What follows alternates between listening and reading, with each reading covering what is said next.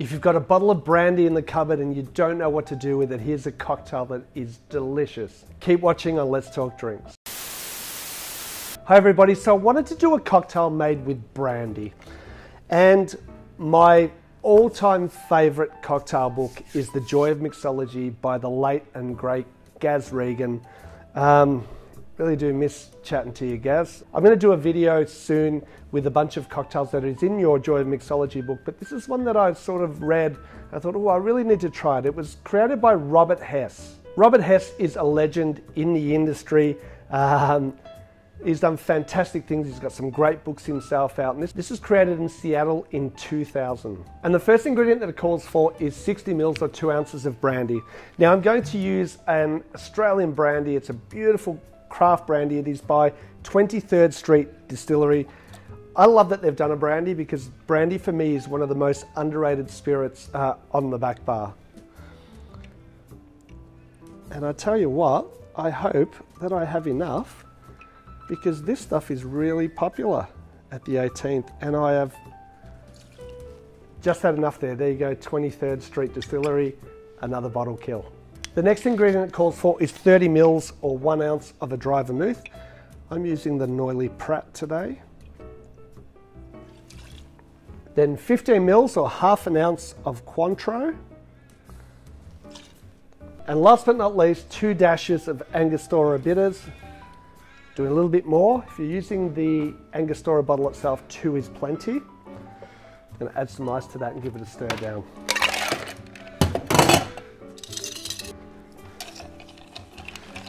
So if you haven't got the book, The Joy of Mixology, there is an updated edition. Get out there and buy it. I'm not sponsored or anything like that, but honestly, it's got everything that you need to know and learn about cocktails. The man who wrote it is is my favourite legend in the industry.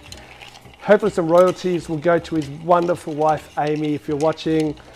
I miss you. I'm going to get out to America um, next year, okay? They're about to open up the borders. When I come to New York City, I'll make sure that I'll come and visit you and say hi. Never tried this. Uh, I'm totally intrigued by it, so it's going to be great to see what it tastes like for the first time on camera.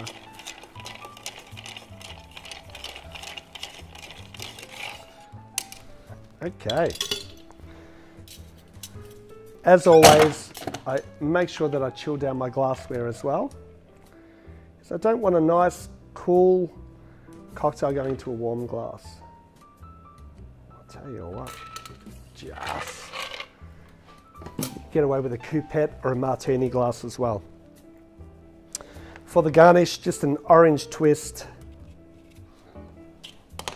I think I'm going to just twist and discard this time. This is the Black Feather Cocktail. Cheers.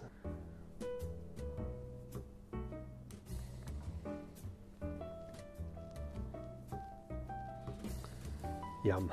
um, super boozy, right? Like, this is just got so much alcohol in it, but you can't tell. It's very well balanced.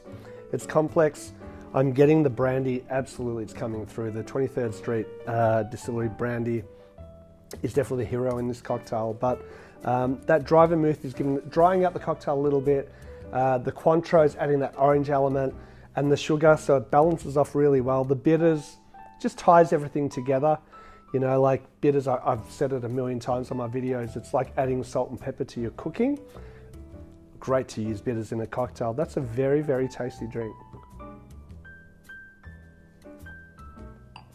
I'm happy with that. I couldn't drink a lot of them though, um, because I would end up on my backside. But what I love about this cocktail too is it, it's got a dry finish. So really well balanced, get a little bit of dryness towards the end, which automatically makes me want to have another sip. And that's great for me, for friends or for customers, because the more that they drink it, the quicker they get through it and they'll order another one, right? Mm. Robert Hess, you are a legend. Gaz Regan, you too. Please like, subscribe, check out the Joy of Mixology book, guys, and we'll see you again soon on Let's Talk Drinks.